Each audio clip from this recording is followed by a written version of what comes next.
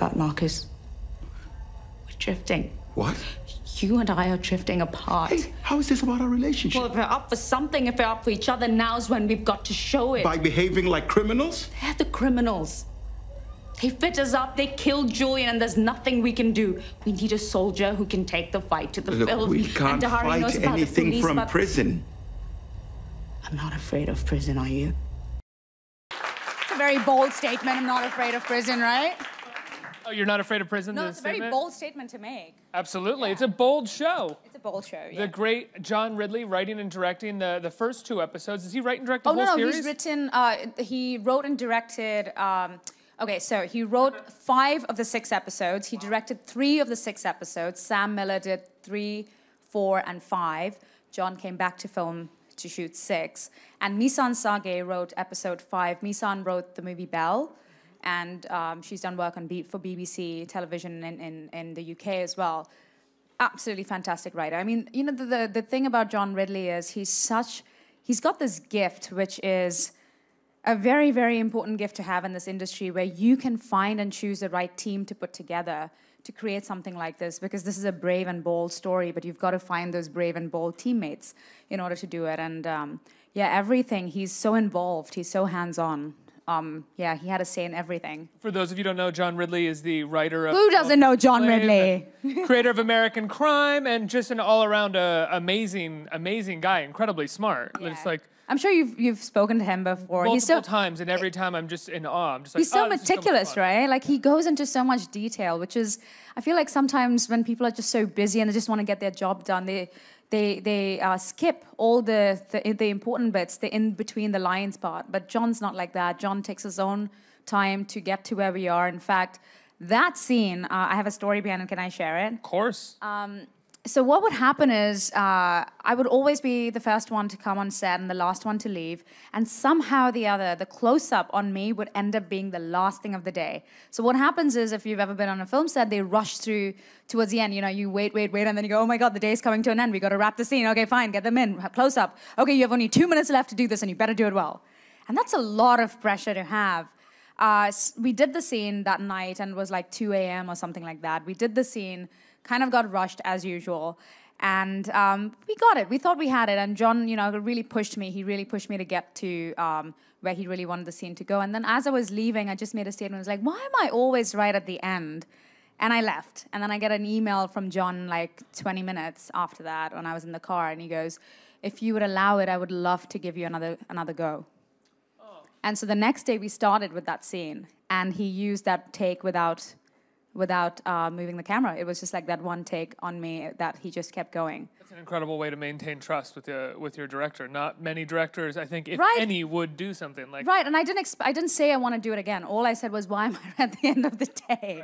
Always. throwaway complaint, and like you didn't even think about it. yeah, uh, but he really gave. Yeah, he he said he wrote such a beautiful email. He said, "I wanted to do right by Jas, and I wanted to do right by you." Now, what I love about this show is it's uh, it's the story that we we often don't tell about those who were activists who ended up having to resort to violent activism because they were pushed so far against the wall, and the state viol- the state's acts of violence against them were even more harsh and and atrocious. But we forget to talk about them, and they're often demonized because of their moments of, that are acts of violence. For for better or worse, that demonization. I won't make a statement about that. But where did where did you fall in telling this story? How did you feel about telling a story about people who have incredible intentions, the best of intentions. uh, Excuse where I'm coming from politically, I think it's the best of intentions, but they're back against the wall so hard they resort to violence, like the Weather Underground in, in the United States at the same time. Yeah. So one of the things to know about Guerrilla is that it is based on real life facts that did happen, um, uh, that followed the 1971 Immigration Act. And for those who don't know what the 1971 Immigration Act, by the way, which has still not been re- repealed, what it was uh, was that it, it stated that uh, all non-patrials, for the first time, there was th- this this term patrials and non-patrials. Patrials were uh, um, people whose parents or grandparents were born in Australia, New Zealand, or South Africa. Uh, and non patrials were people who migrated to England from the colonies, Africa and Asia in particular. Uh, and the Immigration Act stated that all non patrials were now at the risk of deportation because they um, but not technically not British enough, you know, and there was an immigration act being being surfacing at that point in time. So really, the movements that um, uh, came from it, this is the Black Power movement that I'm talking about, was a protest against this immigration act because those who migrated to England pretty much thought that they were coming to their motherland. As, as part of the colonies, they served in World War One and Two. Uh, they worked for the British. They, the Queen was their, queen as well, and they thought they were going to motherland, only to realize that hey, they were not welcome. Um, and so the protest really was very literary. They had this, this um, publication called Race Today, and they used uh, literature as well. There were few acts of violence, but not so much. But what we do with Guerrilla is, uh, what John r- rather did with Guerrilla was he took the creative liberty to make it a, a what-if drama. What if the 1971 Immigration Act, uh, um, uh, Black Power movement got radicalized? And really, what he's saying is he's talking about what's really happening today. You know, we're really at the moment been pushed up against a wall in many ways. There are lots How of does something get politically radical, radicalized? What does that look like when that happens? Why does that happen? And it's questions that aren't asked enough because when you talk, when political movements got radicalized at a certain point, I mean leftist political movements, Right. they are demonized and swept under the rug, and Right. their political stances, for the most part, are thought to be deplorable because of the stance they took or how they took that stance. Exactly. And that's what the show really, you know, throws some light on. And that's why I guess, you know, you take this creative liberty to in order to to show to show that part as well. And really, uh, Babou says this fantastic thing as well, you know, because he is from Gambia and uh, there's a lot of political unrest in Gambia at the moment with his family. Um, you know, the, the lives, just say lives generally under a lot of threat in, in Gambia. And he goes, how far would you go when you are backed up against a wall and it's the lives of your loved ones that are at risk? How far would you go to defend them?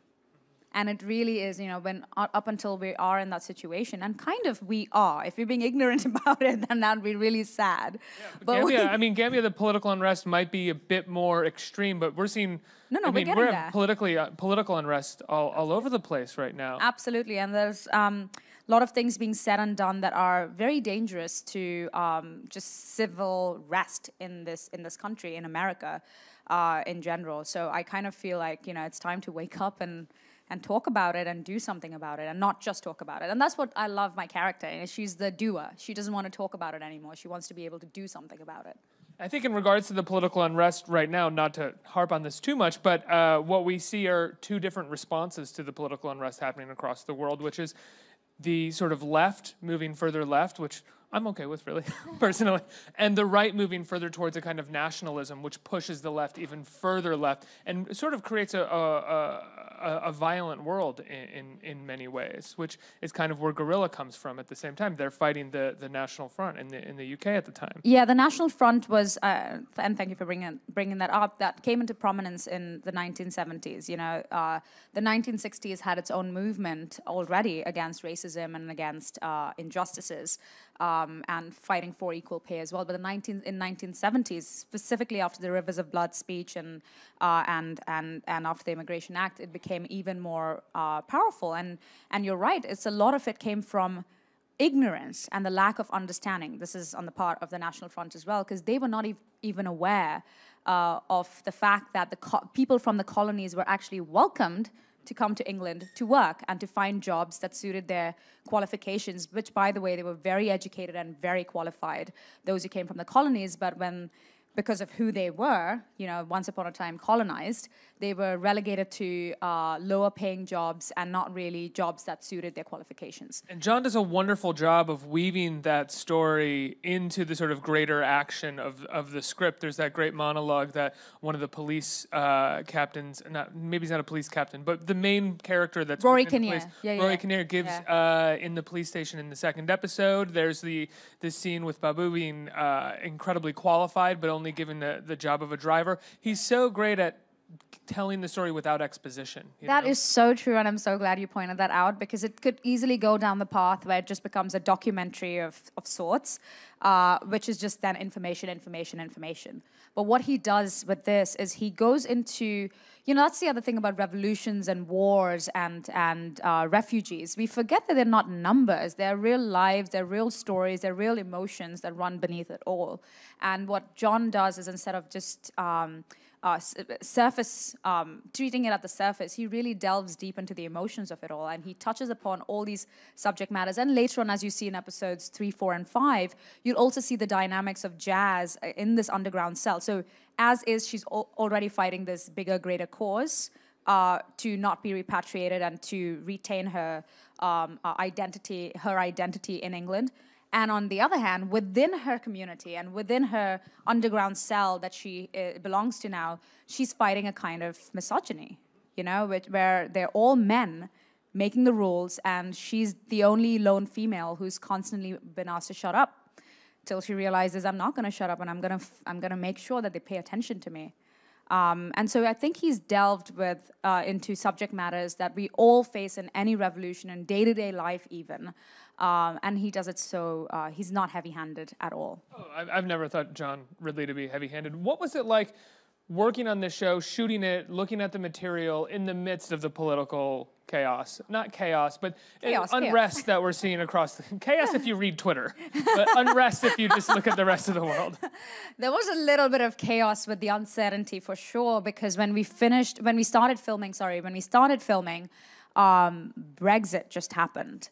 And there was this kind of like, so what does this mean? What is Brexit? What does it really mean for the people who have migrated to to England uh, in in the hopes of a better job? And We don't know, We- says Britain. exactly but that's exactly the uncertainty that creates that kind of chaos and then people without the information without the knowledge of what it really means are um, you know um, um, make their own draw their own conclusions which creates more unrest and which creates more chaos.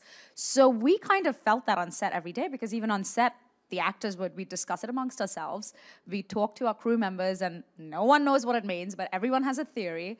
And we use that kind of um, uh, the uncertainty, but also for us as actors, uh, the confusion of it all, we injected it into our characters. Because really, Jas and Marcus don't really know what they're doing, but they know what they're doing it for. They're doing it for because they stand for something and they believe in something, but they're not really sure what their actions are going to really lead to. And there are consequences, no matter if you think you're on the side of good or the side of wrong, there are consequences any which way. So we kind of used that uh, that cluelessness, the rawness, the, the the fight in us to want to know more, to do more uh, into our characters, and it was really helpful actually. What I love about the story of uh, of these characters is that because they get back to New Wall and because they resort to a certain type of activism, suddenly they become criminalized in many ways, and they have to operate within a criminal world. So even though that goes against maybe their beliefs as activists, that's the only way they can finance their lives at this point and and and their activities.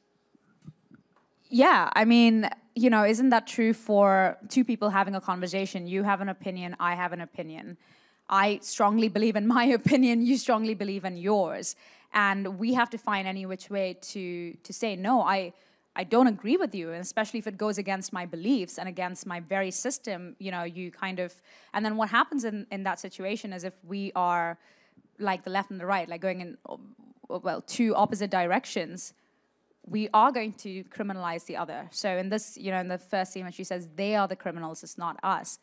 They see them, they view Jas and Marcus as violent, uh, unruly people who are uh, a burden on society. And what Jas and Marcus strongly believe they're doing is that they are creating a safer, more uh, friendlier, more welcome environment for their people. And um, what John does in this show is he does not create the good guy and the bad guy. Uh, Jas and Marcus are not good, they're not bad.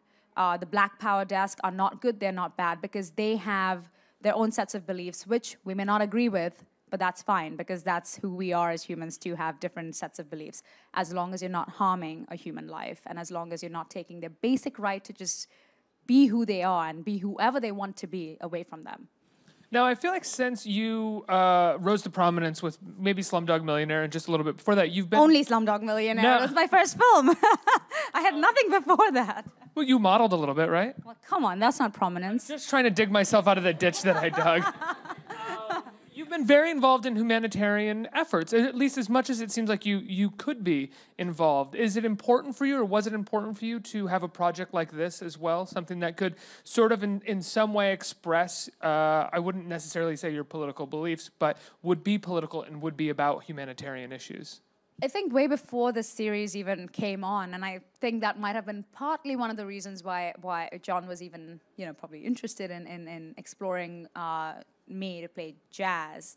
Sort of under the assumption that you would have an opinion and that you would have exactly because the, our first meeting was all about that was about opinions was about what I believe in and uh, and as I talked to him about things that I stand up for and I speak I, am very vocal about things that I believe in, and even if it means that sometimes it might uh, attract uh, attention that you don't necessarily want to get one in your life, but you know I don't care because I'm I'm I like I said I stand up for something I believe in, and that really helped me um, in playing this role as well. Uh, I told John this really funny story about me in the eighth grade. Um, I told him much later actually. Um, the librarian in our uh, school had kind of banned or you know kept a certain section of the books away from the eighth grade. It was an author called Judy Blume, who's a young adult novelist, and uh, I had read her books in the seventh grade, and there were books. Her books were available for the ninth grade as well, but I was like, why is it not available for the eighth grade? I just don't get it. Like, I don't understand. So I walked up to the librarian and I say, I don't understand. I love Judy Blume. Why can't I have? Why don't I have access to these books? And he goes, those are not for you. It's for the higher grade so when you get to the ninth grade, you can get them. And I go, but I don't understand. Like, can you give me an explanation why? But there was no explanation. It was, you know, a sense of authority and power. So I go back to my class, and, and I was always a leader. And I said, hey, guess what? None of us are going to library class today. It's our protest. We won't go because he won't get, give us the books. And he was so angry. He called the principal, and the, the principal came to class, and she goes, "Who did this? Like, why aren't you in library class? You're supposed to be there." And I, I said, "Well, I'm you know, I, he wouldn't let us read Judy Blume, and I don't understand why. He won't give us an explanation. And she kind of smiled and she said, Well, next time you have a problem like that, you come and talk to me, but don't do this. Like, don't have ban the entire class from going to library class. And she smiled, where somewhere deep down she knew that I was somewhere on the side of right. At least an explanation would have helped on why. Uh, poor librarian. I've like brought him up so many times in this in this press tour. Uh, um, has, has has being outspoken for any particular issue that you're involved in or interested in uh, gotten you unwanted attention since yeah. you, since you've gotten you know famous for lack of a better word? Oh yeah, yeah, yeah, yeah, absolutely. I mean, I say things that I believe in, like for example, the plight of women in India, and I talk about it quite openly. Uh, I'm not just saying that it's just India, but there are other countries in the world as well where women are not. Uh, treated with dignity and respect. But in India, it affects me more because guess what? I am Indian. So I speak openly about it on a uh, on a public platform, and sometimes that irks my fellow countrymen because they feel it's it's like mudslinging, but it really isn't mudslinging. It's all about just awareness and accepting there is a deep-rooted problem in my country, and we have to address it. So those are the kind of troubles I get into, but it doesn't stop me. Yeah. No. uh, questions from you guys, the audience, who right here. Hi, Freida. How are you? Hi. I wanted to ask you by being in a movie of this magnitude, what awareness have you gained and what impact has it made? Right. I think um, with Guerrilla, um, there was a lot of things I did not know. Uh, and one of them would be would be the actual historical events. So when I had my first meeting with John, it was obviously to meet John Ridley and to tell him that I really wanted to be part of it uh, and to play Jas, but also in a way to verify the authenticity of, of the facts that he had written in the pilot episode. Um, I don't know if you were aware of the Black. I was not. Right? It's like it's not documented. It's we don't learn that, and I grew up learning world history, but for some reason, the '70s history was never that. You know, we were never told about that. The Black Panther movement, yes, like widely, widely studied, and the civil rights movement in America, widely studied. We're kind of taught that civil rights was gained by like the 70s at some point. You know, I mean, widely gained. We know, I mean, those of us who are sort of like read enough history know that that's not entirely true. True, but I not true, think yeah. in basic historical teachings, basic classes, you're Yeah. kind of taught that there was Martin Luther King and then everybody was free. Yeah, yeah. And you're like, I don't know. I don't know about that. what happened before that? um, but yes, so this was it for me. It was more of a, uh, um, a an educational process where I really learned about the actual historical events that led to all these mm, uh, wide protests. And the other things that I learned was that the British uh, Black Power movement drew a lot of inspiration from the British Black Panther movement and the 60s and the 70s, the 60s and the 70s, I think. Martin Luther King and Muhammad Ali did a lot of uh, lectures, um, gave a lot of lectures in England. So um, that also really inspired revolutionaries like Darcus Howe and Leela Howe. Uh, Farrukh Dhondy, who my character has, uh, is based on. The other thing that uh, I, you know, I think America is a little shocked and surprised. Like, this is the first question that came up, right? Why is an Indian playing the lead in a black power movement? And that's because in England, if you are not on the side of the people who are gaining things, if you are on the side of the people who are being suppressed, if you were Asian, Asian being Indian or coming from any other part of the colonized uh, world, you were black. So there is a line which we is not in the series right now, but in an improv where I just said, with the character was like, you know, we're fighting for blacks, we're fighting for Indians. I'm like, it's fine, you can just call me black, it's fine. So if you're not on the side of the other color, you are black. No matter what the color of your skin is, you could be Irish and pale, and you're still black. Yeah. It's so it's a political blackness more than the color of your skin. Next question. Hi, Freida. Hi. Uh, fascinating. I can't wait. I mean, I'm English, as you can hear, and I, I, some of this I know, some of this I've heard about. I love your passion. I was actually just going to ask you a very fluffy question and say, you've played with such gorgeous leading men. I mean, no, who's next? I mean, who's next? rest on your laurels oh now. my You're God. cooked. It's done. I'm really lucky, I have to say. I do work with Idris not just gorgeous Oh Idris Elba.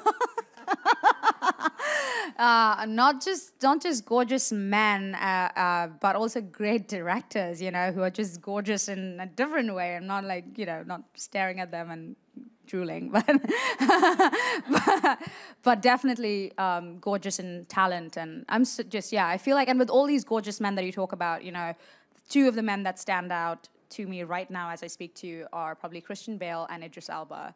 They're such seasoned actors. And the first thing you would expect is because you know they could make you really nervous for being in this industry forever since it, since the time they were kids. Um, definitely for Christian Bale, you would think that they would make you super nervous, but that's just not who they are. As soon as you are in their presence, it's this all-inclusive, no hierarchy. We're all the same. We're all here to do the same job, and that's what Idris did on the first day. So Idris and I had all our scenes in the first two weeks because he was moving on to shoot another film. Um, and I was so nervous because I was like, wait a minute, I'm like starting with one of my biggest scenes with with Kent with Idris Elba, and I've like had no other prep. I've not worked with any of the other actors. You know, oh my god, I'm so nervous. But I didn't want to, you know, let Idris know that I was that nervous. So I'm like standing there. I'm like, I'm really cool. I've got this one. And then he stops right before we start filming and he goes, Stop, sir, I just want to say something. And he comes and gives me this massive hug and he says, I'm so honored to be working with you. I can't wait to do this with you. And as soon as he said that, I was just so relaxed. I was like, okay, now we're you know on the same level. We're doing this together. So yeah, I think people like Idris just make you know, aren't you like loving him even more now? Yeah. You got a hug from Idris Elba? I, um, I think we have time for one more question right here. The timing of this movie coming out, I think, is pretty uh, amazing, considering we have a real populist movement going on around the world, and with the election of Donald Trump, and even the the ad that is promoting it, you utter these very, very powerful words: "Power to the people," and I think that in an era where people are losing the power. I'm just curious when you're doing a movie like this and you see what's going around you politically, what's going on in your head? How do you feel about today's uh, politics and what's happening around the world? Do you want to rewind to like cover what to? to question one. Yeah. Well, I have. I'll just. I'll make this really simple. I don't believe in neutrality, in given the fact that we are in this very, very tough time right now in the world, and I don't believe in not speaking up, uh, and I don't believe there is time for neutrality right now. It's an urgent time, and we have to be able to speak up and stand up for what we believe in. Because if we don't, you won't have that right anymore. So that's that's how I feel about the political situation, not just in America, but everywhere in the world, and almost is for me feels like a responsibility to, as a uh, global citizen and not just a citizen of my country, to be able to speak up for humanity in different parts of the world. Like you know, we can't be forgetting about other things that have happened in the last couple of years just because our focus right now is on someone's Twitter account. You know, and I think that sometimes is really deflecting and distracting from what is really, really going on. Um, who else's Twitter account is the most interesting right now, I guess. Like everyone's like, you know, using that on talk shows and it's in the media. I'm talking about it now. It's yeah, so for me there is no time for neutrality. Yeah, I also think there's a. Sorry, I don't need to get make my opinions known, but No, I, but I- make it known. Uh, said it. I- you have I to think stand up. A, I think there's I think there's a, there's a poor definition of populism that's going on and power to the people. There is someone who ran off of a populist campaign and said that he was giving power to the people, but he's not.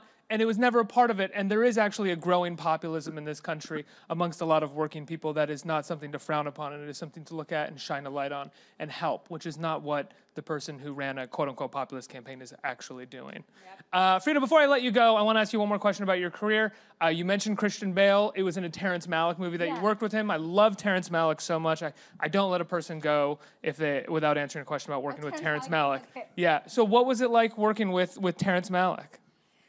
Ha, okay. Or get a scripted line to, to say? Um, I had a bunch of pages that were given to me. Uh, they were not lines, but they were just uh, words, and they were Terry's words um, that he came up the night came up with the night before, and he just types them. By the way, he types them out. It's not typed on a computer, but he types them out on a typewriter. Uh, and I got these type words, um, and I just kind of like read them, and I was like, "What am I reading?" Because I have no idea where they. For me, it came out of context, right?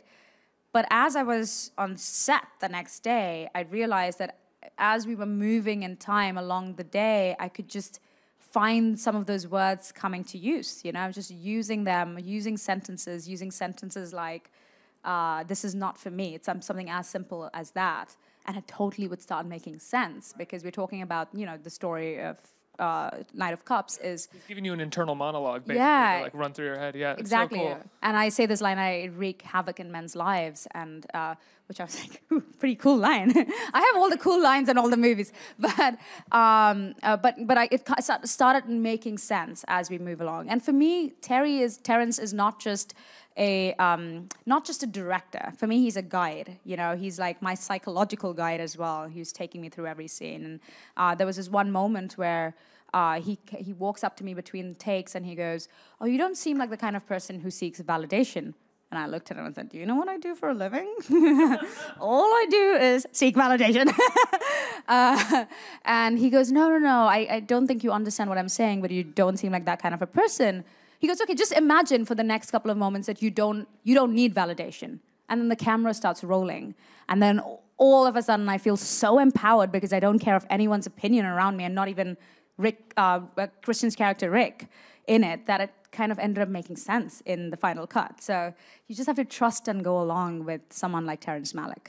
Freida, it's been wonderful having you here. Guerrilla is absolutely fantastic. I can't wait to finish watching it. It premieres uh, April 16th. April 16th on Showtime. Freida Pinto, everybody. Thank you so much for being here.